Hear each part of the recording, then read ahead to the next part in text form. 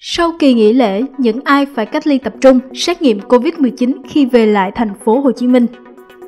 Chiều ngày 3 tháng 5, Trung tâm Kiểm soát Bệnh tật thành phố Hồ Chí Minh cập nhật hình thức cách ly và xét nghiệm với người ở địa phương đang thực hiện giãn cách xã hội, nơi có thông báo khẩn, đi từ các địa điểm hay chuyến bay giám sát đến thành phố Hồ Chí Minh. Theo đó, người đi từ các địa phương đang thực hiện giãn cách xã hội theo chỉ thị 16, gồm xã Đạo Lý, huyện Lý Nhân, tỉnh Hà Nam, từ ngày 22 tháng 4 ba thôn Hoàng Xá, Hoàng Cát, Nại Khê thuộc xã Tiên Tiến, huyện Phù Cừ, tỉnh Hưng Yên từ ngày 29 tháng 4 và thành phố Yên Bái, tỉnh Yên Bái từ ngày 23 tháng 4 sẽ cách ly tập trung và lấy mẫu xét nghiệm COVID-19 theo quy định khi đến thành phố Hồ Chí Minh.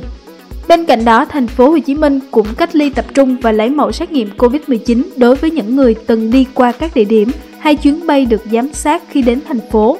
Cụ thể như sau. Về phương tiện di chuyển thì có các chuyến bay như sau. Chuyến bay VJ 133 từ Hà Nội đến thành phố Hồ Chí Minh lúc 10 giờ 15 phút ngày 27 tháng 4. Chuyến bay VN 1761 từ Hà Nội đi Đà Nẵng lúc 14 giờ 20 phút ngày 27 tháng 4. Chuyến bay VN 160 từ Đà Nẵng đi Hà Nội lúc 10 giờ 46 phút ngày 29 tháng 4.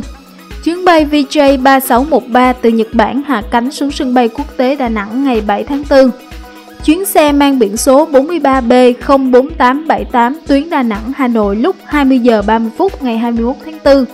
Chuyến xe mang biển số 21B00617 nhà xe Việt Phương từ bến xe Mỹ Đình lúc 20 giờ 15 phút ngày 29 tháng 4 đến thành phố Yên Bái lúc 22 giờ 30 phút cùng ngày, đến thị xã Nghi Lộ lúc 0 giờ 30 phút ngày 30 tháng 4.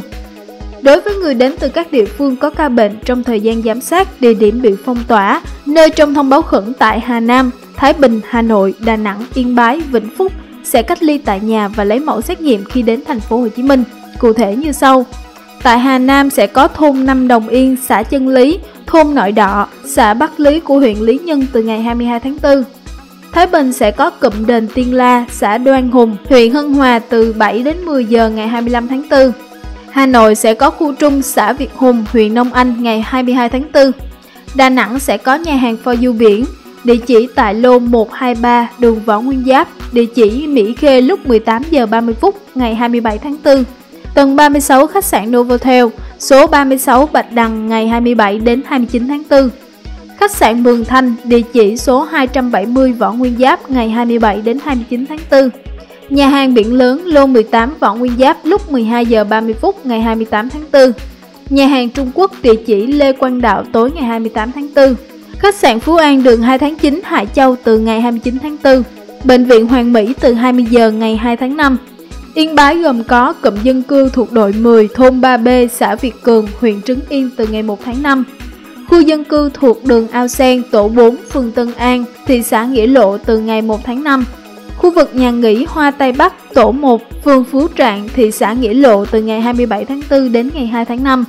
Vĩnh Phúc gồm có Bệnh viện Đa khoa khu vực Phúc Yên, tổ 1, phường Hùng Vương, thành phố Phúc Yên từ ngày 1 tháng 5. Quán Ba Sunny, địa chỉ khu đô thị Đồng Sơn, thành phố Phúc Yên, tỉnh Vĩnh Phúc trong khoảng thời gian từ ngày 23 đến ngày 30 tháng 4. Trung tâm chăm sóc sức khỏe Ha Sen, đường Kim Ngọc, Ngô Quyền, thành phố Vĩnh Yên, tỉnh Vĩnh Phúc từ ngày 26 tháng 4. Những người từng có mặt tại các địa điểm trên vào các khung thời gian được nhắc đến, cần liên hệ cơ sở y tế gần nhất để được hướng dẫn xét nghiệm và cách ly theo đúng quy định, tránh nguy cơ bùng phát dịch. Bất kỳ ai cố tình gian dối, giấu giếm sẽ bị xử phạt theo quy định của pháp luật.